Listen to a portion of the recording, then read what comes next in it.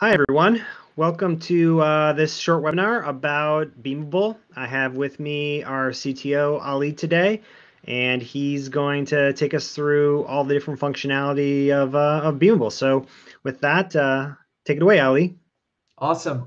Hey guys, uh, so just a quick uh, intro about myself. Uh, I'm Ali, I'm the CTO of Beamable. We've got some really exciting stuff to show you guys today. Um, some of you might know Beamable is a, um, a Uh, Unity package, uh, which we currently distribute via the Unity Package Manager with the intent of it being uh, eventually on the Unity Asset Store. But it's free.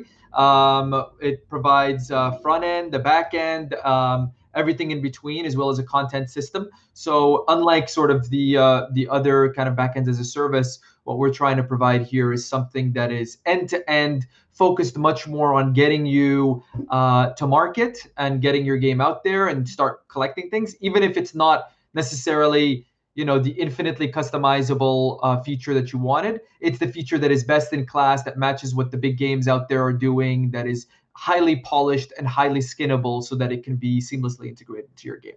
So what we have here in front of us is the Hats project. This is our little uh, dog fooding demo. And for those of you not familiar with the term dog fooding, it's basically where we implement our own functionality in our own um, you know, sort of tech project, tech demo uh, to ensure that uh, that things work uh, as, as, as we expect. Uh, and so I'll, I'll give you guys a quick overview of our tech demo, and then I'll show you how you can reproduce some of this stuff on your own. So before we even get started, I'll just show you uh, if you if you this is Unity 28 2019.4, so this is the LTS version, uh, which I expect most of you will be using soon or are using now. Um, you'll notice over here that there this is the assets project, uh, the the project hierarchy, but then there's also the packages section, and under the packages section there's a Beamable project.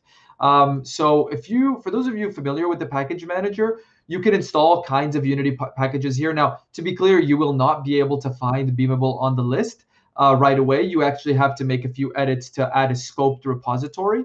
Uh, and, um, and and and that'll that'll allow you to then download it and update it with ease. Um, so without further ado, once you have the Beamable package installed, you can actually open up Window, uh, Beamable Open Toolbox. So the toolbox is this thing over here. And what this is, is uh, at a high level, it's kind of the place you go to find the features that we offer that are sort of out of the box usable, drag and drop interfaces that, that do what you expect. So, um, so uh, right off the bat, you can see that there's an admin flow. Admin flow is like a cheat console where you can input, um, you know, you can create custom cheats, but also there's a whole list of existing cheats you can use to interact with uh, with the features we provide. Now, this is this console is is uh, uh, invocable in editor at all times. On device, you can do a three finger swipe to invoke it, and on device, actually for real builds. Um, you can only invoke it if you're um, if you're a privileged user, and I'll get into what that means. Um, there's our currency HUD widget, our account HUD widget. These are little bits of connective tissue so that you can render currency at the top of the screen, uh, or or a button which allows you to, um, um, you know, allows you to invoke the account management screen. Uh, we've got uh, various common user experiences here: uh, login flow, uh, leaderboard, announcements, which is you know in many games you might uh, it's called news, but it's the ability to sort of pop up news on a regular basis to um, to your players and even include rewards and attachments, that kind of thing. An inventory flow, which includes things just like a basic inventory, um, and then of course a store flow. Now, there's a lot more features that are platform backend supports that are not on this list. And part of what we're trying to do is take all of the backend features we have, anything from you know uh, uh, A/B testing, analytics, um, you know uh, events, all of those kinds of things, tournaments, and bring them into you know the Unity editor experience as drag and drop UIs, um, and uh, and and have them be fully connected, and more importantly, be not only be connected but also um, integrate with content that can be deployed out of bands with client releases. So those of you who operate free to play uh, games or games as a service uh, models will know that content is king. Uh, oftentimes, you have to deploy content, uh, uh, you know, at least once a week, sometimes multiple times a week. And so, being able to do that in a way that, you know, frankly, is battle tested, um, you know, scales, and also, um, you know is easy from an authoring perspective, sort of lives inside of the Unity experience is, is really important. So what you can see here, so I'm going to hit the play button, um, and uh, what we're going to do is we're going to take a look at some of these experiences and what they look like in our game, uh, hats. And we called it hats specifically because uh, because we like the idea of vanity items and um, and specifically uh, hats are an example of a great vanity item that you can sell that doesn't really alter the gameplay, but which uh, provides you out of the box functionality.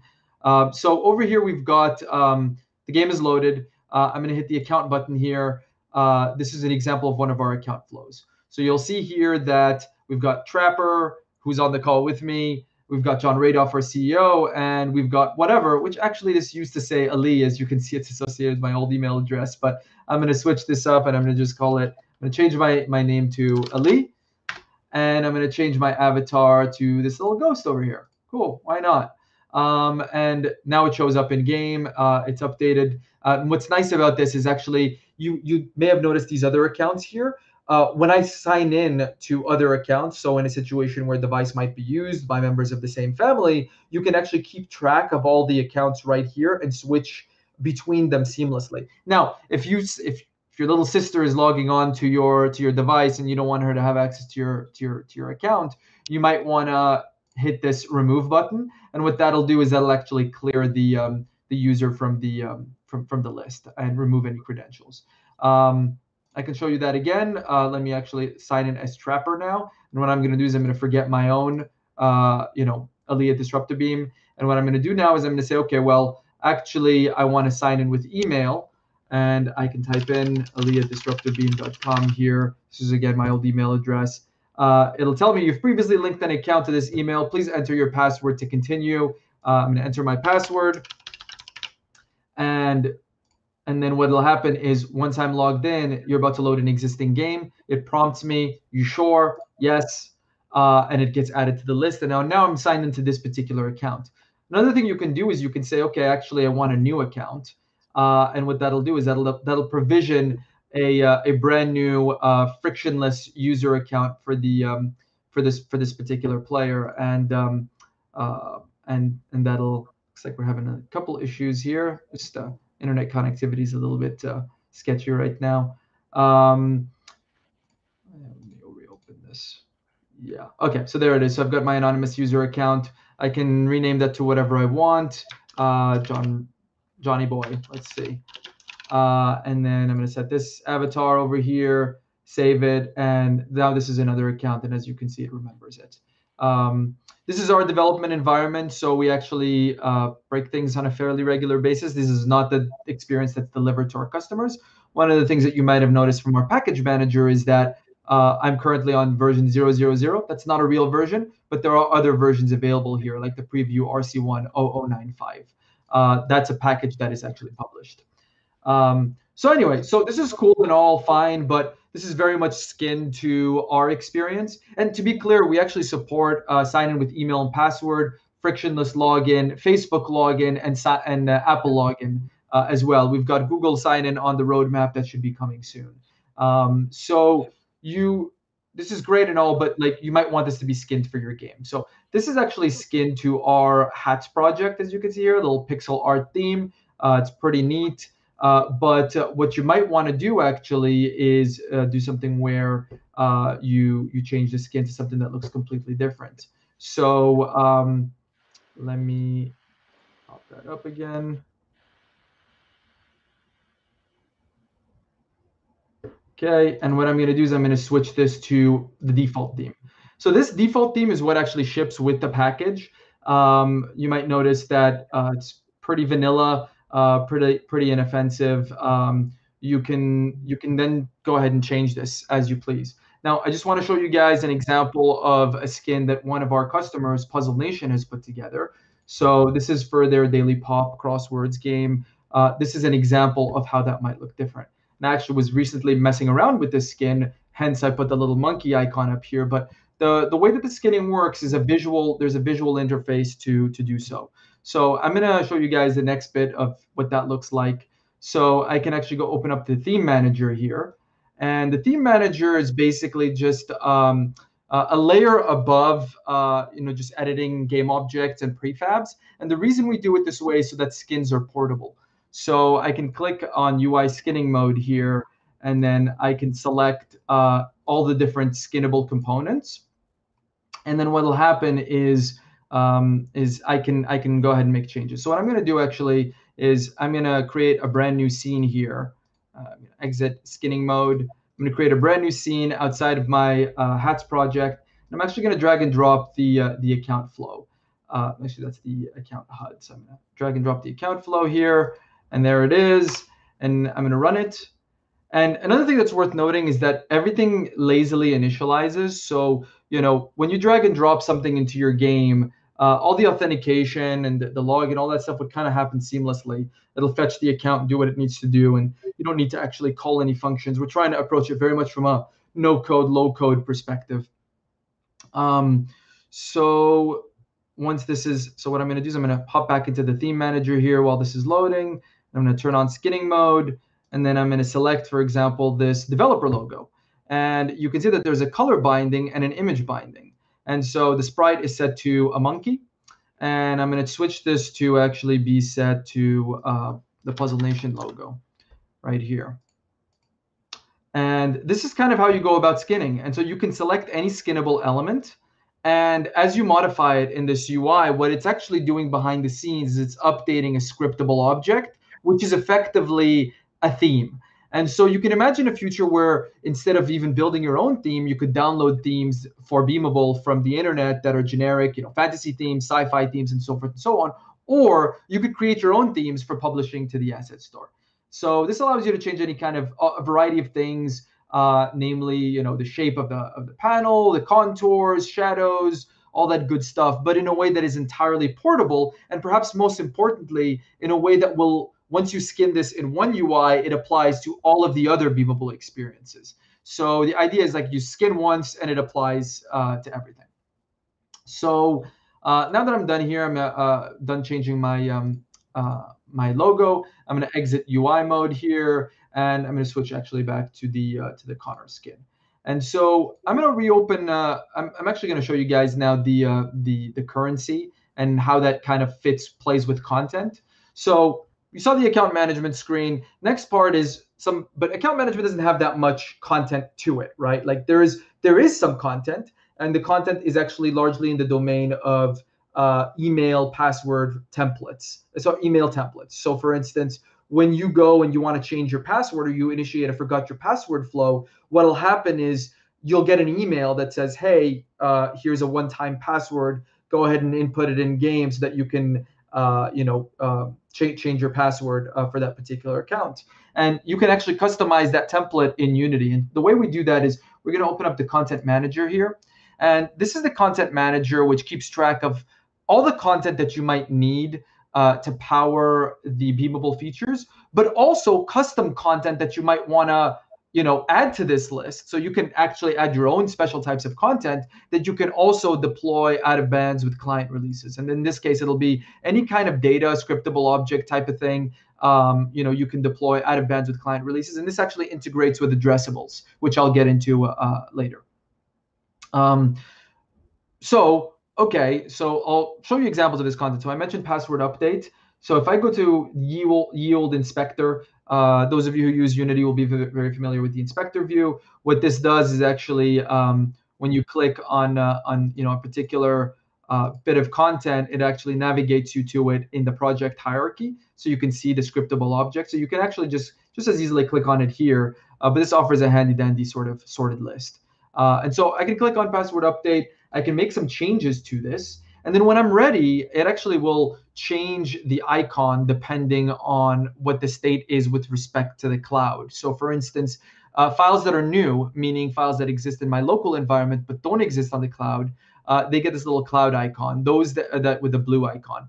Those uh, those that are that are old, that are that have been deleted, that is that are deleted from your local environment and they don't exist in the cloud. Those will have a little uh, red icon next to them uh, in a cloud. And then those that have been changed, that have been mutated, uh, will have a little alert sign next to them. Everything else that is like effectively in sync with what's in the cloud will have a, a green check check mark next to it. So as you might notice here, I've got a bunch of stuff that is local that doesn't exist on the cloud. So I'm actually going to delete this one because I, I, don't really need that piece of content.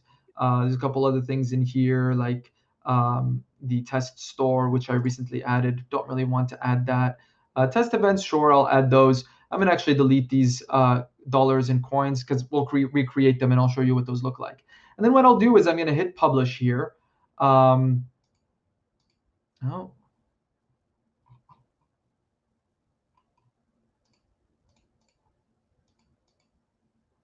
refresh the content. Yeah, it looks like the publish is having some issues. Oh, no, there it is. Okay, I guess it must be my internet connection that's having issues. I'm really, really experiencing some lag.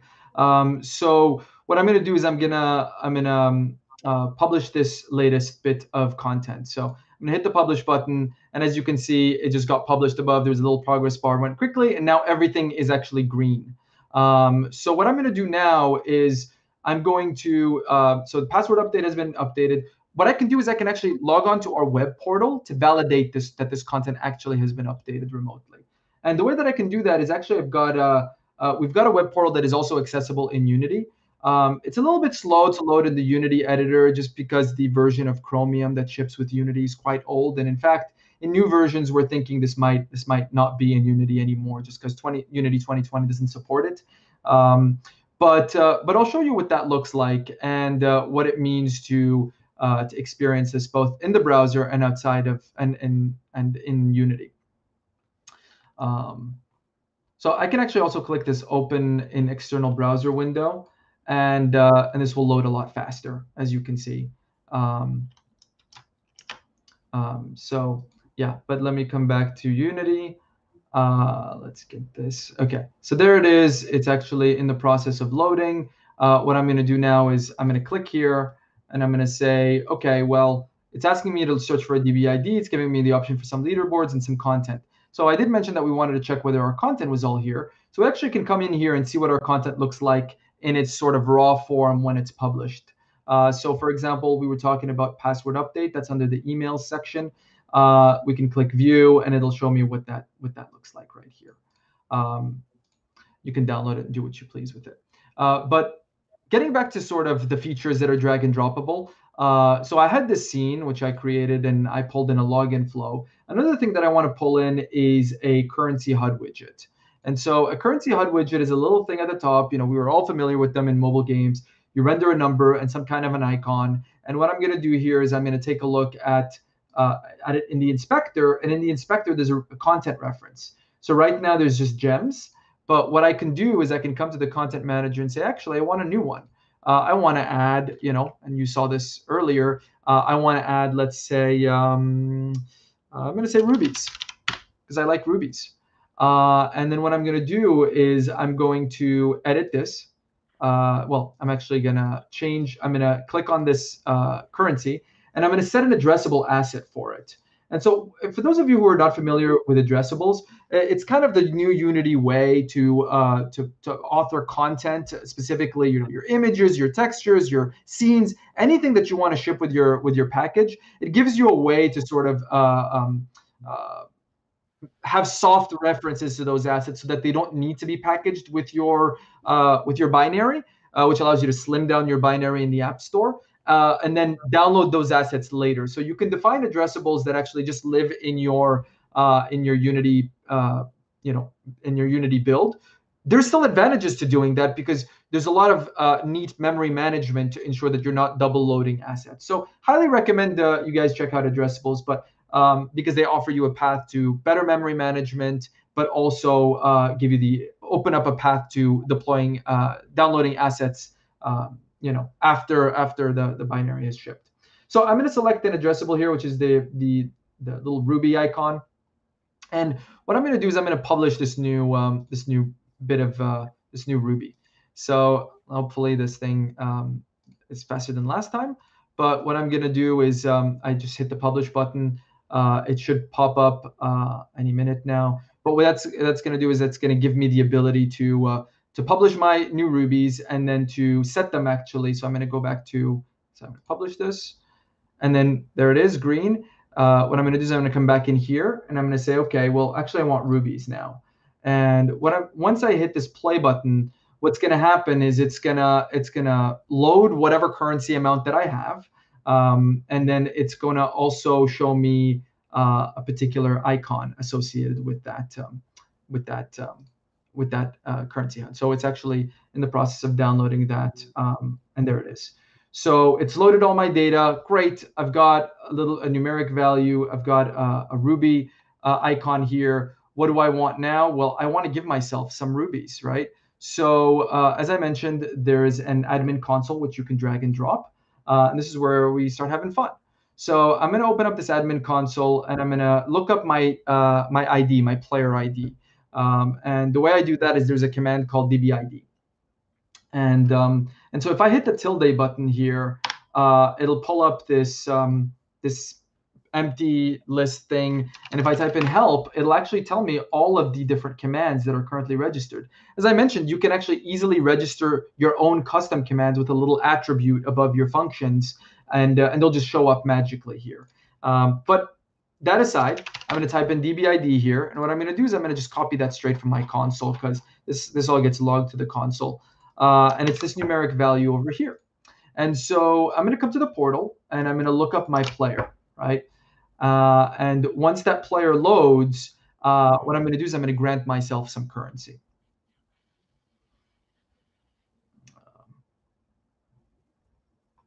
I'm actually going to do this in the external browser since it's a lot faster. So I'm going to come over here.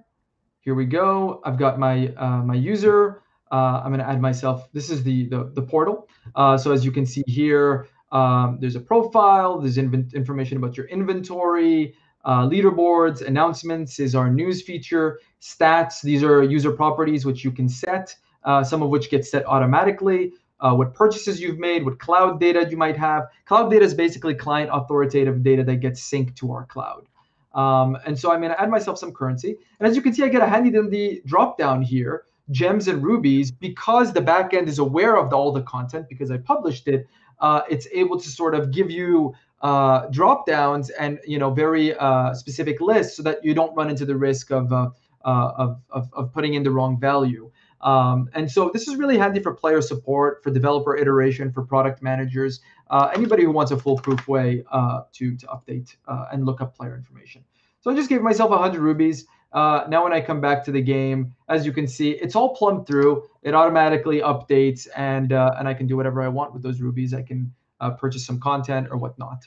Um, so that's the sort of basic uh, idea around the tight flow between, you know, I drag and drop a feature, I can skin it, I can customize some content that powers that feature, I can deploy that content uh, to, to the production environment. I can then view that content both in editor via drop-down selections as well as in the portal. And so you start to sort of come about a very opinionated workflow that is uh, that is really designed to offer you all the power and make it upfront clear uh, what make it clear up front what the what the trade-offs are right so like we're not claiming to give to have sort of infinitely flexible, uh, you know, Lego sets that you have to piece together with glue code and all of that stuff. Um, you know, what we're what we're sort of hoping to accomplish here is drag and drop features that are highly polished, that are production ready, that are you know built with best in class practices, such that you can focus on your core differentiator and uh, and and you can still while still having the benefit of uh, of the of the sort of level of polish of these features that the top uh, top 100 grossing games on the on the app stores and on uh, Steam and, and other platforms uh, uh, have the benefit of, and, and frankly the, the the bandwidth and the capital uh, to execute on. Yeah, that's great, Ali. Thanks. I mean that that's a really good picture of sort of taking us through, like you said, you know the the prefabs themselves the ability to drag them in skin them interact with them via the web portal all the different kind of capabilities of it um, yeah, so that's thanks for uh, for walking us through that. So this webinar is going to be available on our website. Um, you know, you'll be able to view it at at any time, uh, and definitely check out uh, everything at beamable.com. Uh, we have a list of all the features there. We have some overview decks you can download, and would definitely just love to hear from everybody about uh, about this uh, demo, about the features and the capabilities. uh, yeah, and definitely reach out via beamable.com and get in touch, and we'd be happy to find out if there are any game projects that uh, that we can help you with. So thanks again for your uh, your time today, and uh, hopefully uh, we'll see you guys uh, see you guys on Beamable. Awesome. Take care. Thanks. Take care, guys.